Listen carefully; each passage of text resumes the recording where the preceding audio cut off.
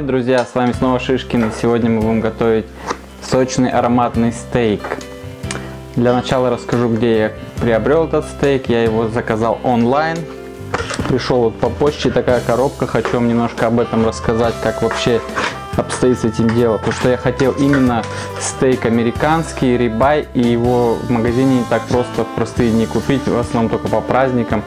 Поэтому я заказал его онлайн. Пришла вот такая коробка. Был указан интервал времени в течение двух часов, три раза в день. Там можно было выбрать время какое. И я выбрал время вечером с 6 до 8. Вот пол седьмого стейк пришел. Сейчас посмотрим, что там, как он выглядит. Это не реклама, к сожалению. Ну давайте раскроем коробку.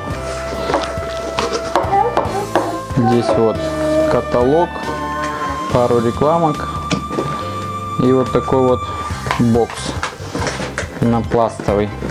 Раскрываем его.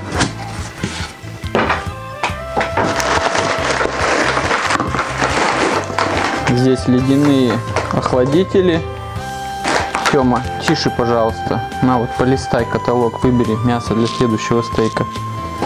Вот такие три ледяных охладителя. Все холодное, все еще замерзшее. Ну, на, улице минус град, это не удивительно.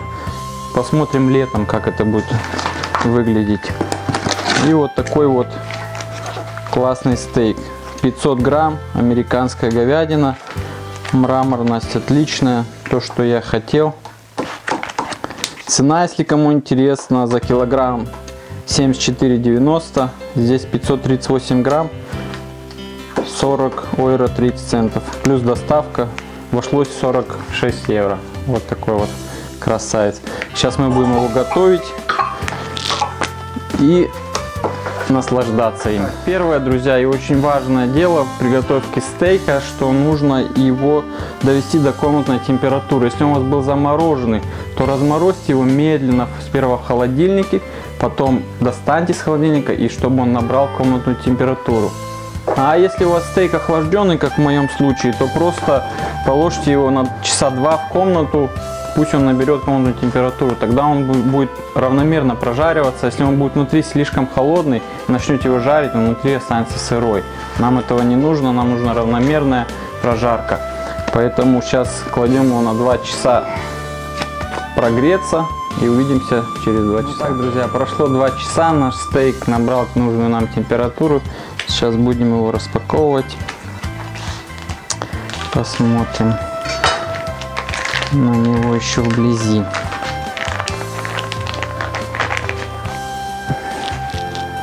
Вот так вот он выглядит. Немножко тут, конечно, отрезали как-то неудачно. Но это мы уберем. Это нам не нужно. В общем, неплохо. Мыть я его не буду. Так, немножко салфеточкой. И пусть лежит. Так, друзья, я еще сделаю такую вкусную картошечку с помидорчиками, как гарнир к нашему стейку. Она будет дольше готовиться, поэтому я сейчас начну с нее. Я уже отварил молодой картошечки. Возьму такую маленькую форму ее туда. Отварил до готовности.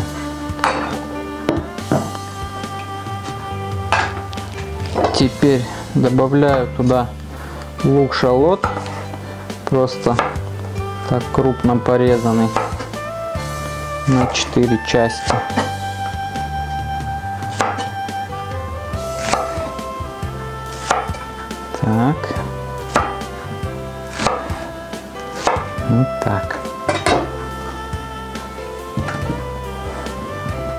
Сюда. И один чесночок. Тоже крупно режем просто.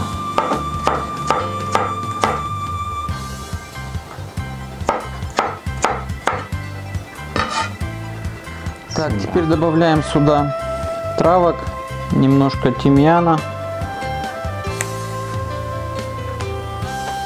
немножко розмарина. Вот так будет достаточно солим. И перчим.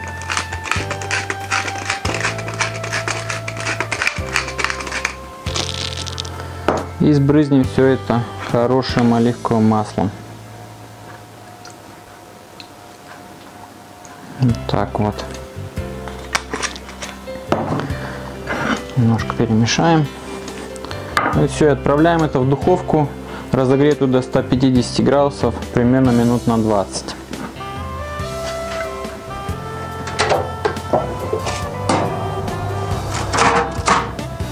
Так, друзья, теперь приступим непосредственно к стейку. Нам нужно сейчас хорошенько разогреть сковороду и сильно обжарить его с двух сторон, чтобы он получил аромат жареный. И потом мы будем его доводить в духовке. Такой он у нас толстенький. На сковородке мы его не, не прожарим. Доведем в духовочке. Картошка у меня уже 10 минут в духовке. Сейчас нагревается сковорода.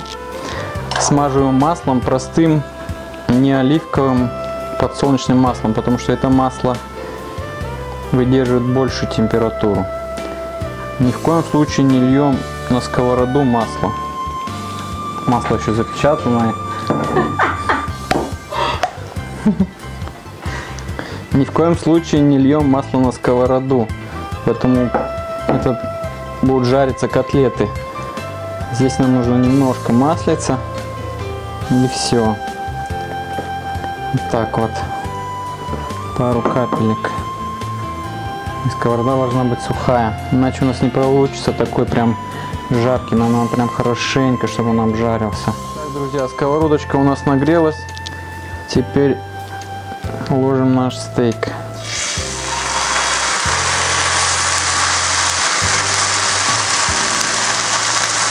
И хорошо обжариваем со всех сторон. Не надо его вертеть, крутить, просто положили и оставили, чтобы он хорошенько прожарился.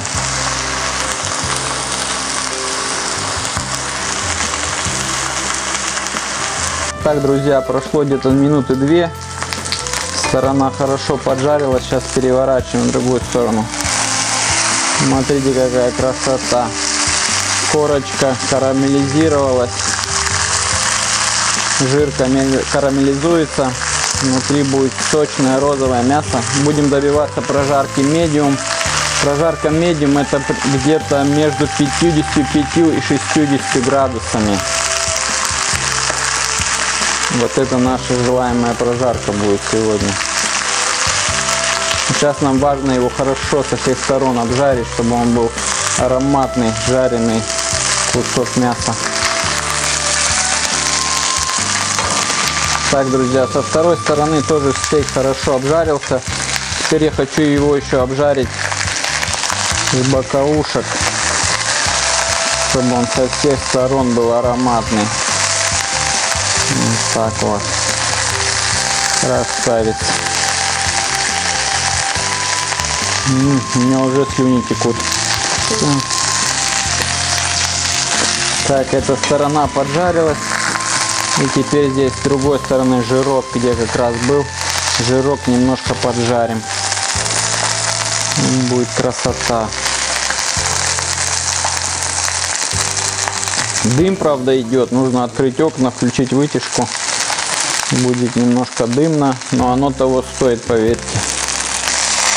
И с этих сторон тоже немножечко.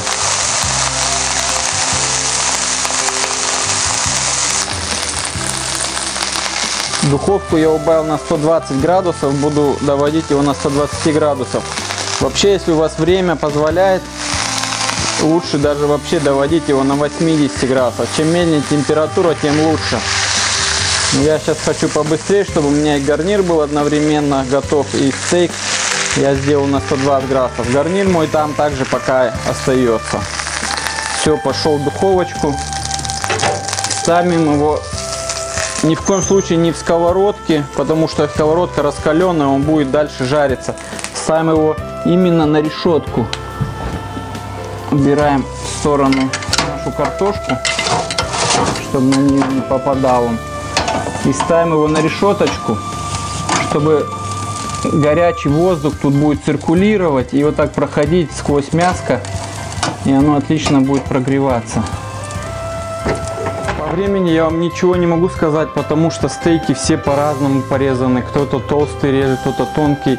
Это ты тут время никак не угадаешь. Есть тест на пальцах, проверяется. Могу вам показать, если он вам поможет, можете им попробовать воспользоваться. Я могу им уже пользоваться, как бы я уже не первый стейк делал, покажу вам. Вот, например, берете вот так два пальца и щупаете вот в это место. Вот это вот, можно сказать, еще мясо сырое, вот, которое только что у нас было со сковородки. Medium rare. Вот это вот наша желаемая прожарка. Вот это вот, если вот так надавливаете на средний палец и вот сюда, и вот так же будет мясо такой упругости. Это будет medium, то, что нам нужно. Вот этот палец, это будет medium well, это уже как бы граница. Вот, ну вот так вообще уже нельзя, это уже все, подошва уже, стейк можно выкинуть. Но мы пойдем другим путем. Есть термометр для мяса. Очень он стоит немного, 5 евро или что-то так. И немного, в общем. Возьмите такой термометр. Желаемая температура у нас будет от 55 до 60 градусов. Вот, это, вот в этом температур Бирайхе, хотел сказать по-немецки, забыл как по-русски, вот в этой температуре останьтесь и будет ваш стейк идеальный. Ну теперь будем ждать. Я, ну, я думаю на 120 градусов такой толщины минут 10-15. Так, друзья, стейк у меня достиг температуры 55 градусов. Для меня это идеальная прожарка. Если кому-то надо больше, можете больше жарить, но я советую вот так. Если сомневаетесь, лучше идите ниже градусов, потому что если он немножко даже сырой будет, он будет все равно обалденно вкусный. Но если вы его пережарите, то мясо испорчено. И сейчас обязательно ему нужно немножко полежать, минутки три. Потому что если стейк сразу начать резать,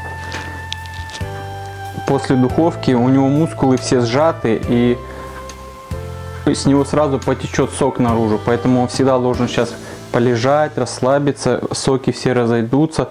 Потом мы его сейчас будем еще приправлять, и потом он еще немножко отдохнет и будет идеальный стейк. Тем временем я, наша картошечка тоже подошла, подогрелась, поджарилась. Сейчас мы добавляем сюда черри томаты.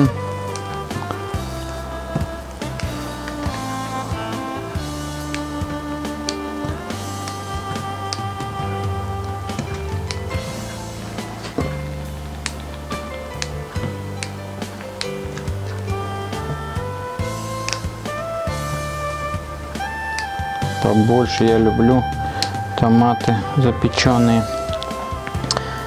и немножко их тоже посолим и поперчим.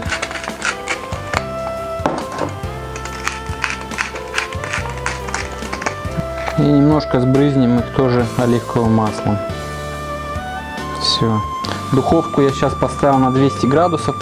Пока мы доводим наш стейк у нас сейчас дойдут как раз наш гарнир и будет как раз одновременно все супер готово. Поставим, ну я думаю минут на 10 как раз мы будем готовы.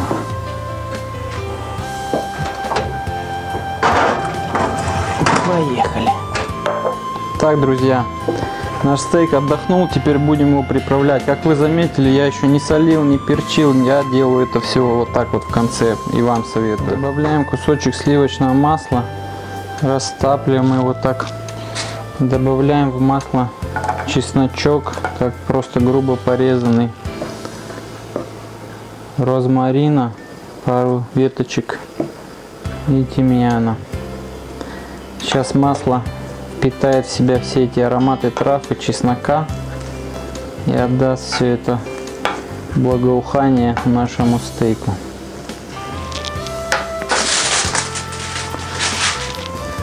Теперь пошел сюда стейк. Можно еще маслица добавить.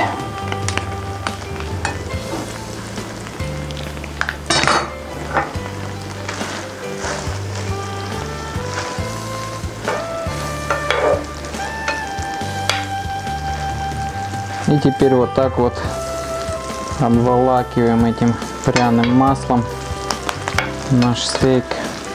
Можно полить сверху.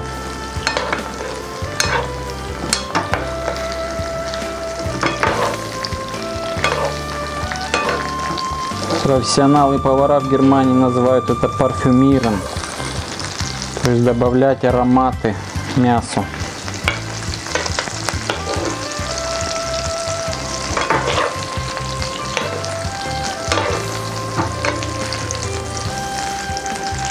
Сейчас можно его поворачивать уже сколько угодно. Температура у нас тут не сильно большая. Поворачиваем.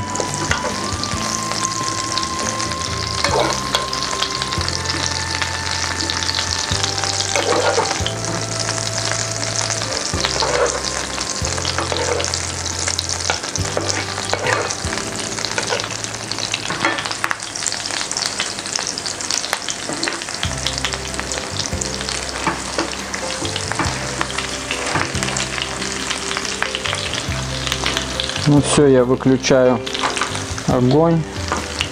Немножко так еще. Сейчас будем солить его в самом конце. Морской крупной солью и перчить свежим молотым перчиком. Я это делаю всегда в конце. Ну, я еще посолю и поперчу еще разочек его непосредственно на тарелке. Перевернем, потому что он сейчас, конечно, не просолится так сверху. Нужно будет еще просолить каждый кусочек. Но это очень вкусно, когда вот такие хрусталики соли попадают на язык, когда ты берешь кусочек этого мяса. И это вообще кайф. Так, друзья, наша картошечка уже подошла. И наш стейк уже отдохнул. Как раз все одновременно у нас получилось. Еще приправлю немножко сверху ее итальянскими травами. Итальянскую нотку дадим, хотя он там уже есть. И будем смотреть, что с нашим стейком. Будем его разрезать. Вот момент истины. Посмотрим, что у нас тут получилось.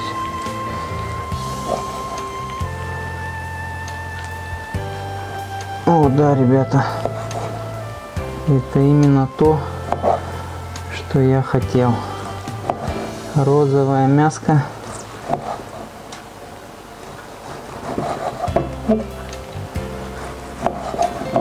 Не сильно сырое. Хотя я могу есть его и сырое. Но для публики я сделал медиум как хотел. Вот смотрите.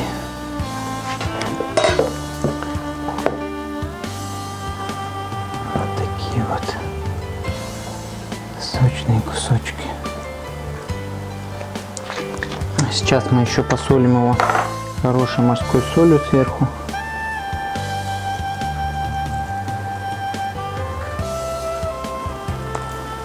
Вот так. И немножко перчика. Больше сюда ничего не надо, никаких соусов, шмоусов, мясо, перец, соль. Ну и у нас тут травки уже были. Попробую, не терпится попробовать кусочек.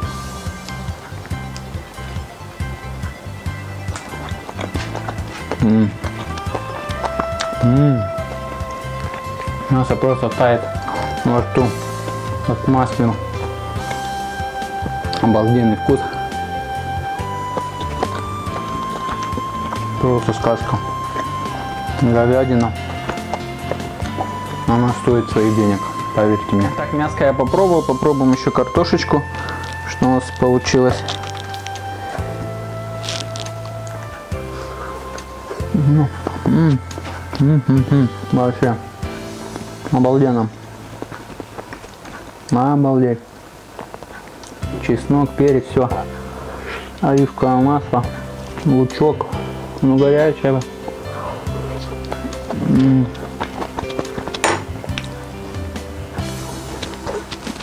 Налью вина.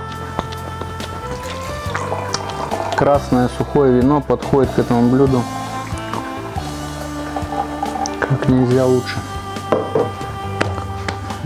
Друзья, я снимаю этот ролик в преддверии 8 марта, Международного женского дня. Я знаю, что основной мой зритель это женщины, что меня лично очень радует. Так вот, я хочу выпить за вас дорогие женщины, и поздравить вас с наступающим праздником и с наступившим, кто как будет смотреть. И хочу вам пожелать, пусть в этот праздник в вашем сердце поселится радостное весеннее настроение и останется там на весь год. Пусть кружится голова от внимания и комплиментов мужчин. Пусть исполняются желания, надежды и мечты. Пусть ваши близкие радуют вас сегодня и каждый день своей нежностью, вниманием, заботой и любовью. За вас, дорогие женщины. Вы все мне дороги, я вас очень всех люблю, но одну больше всех.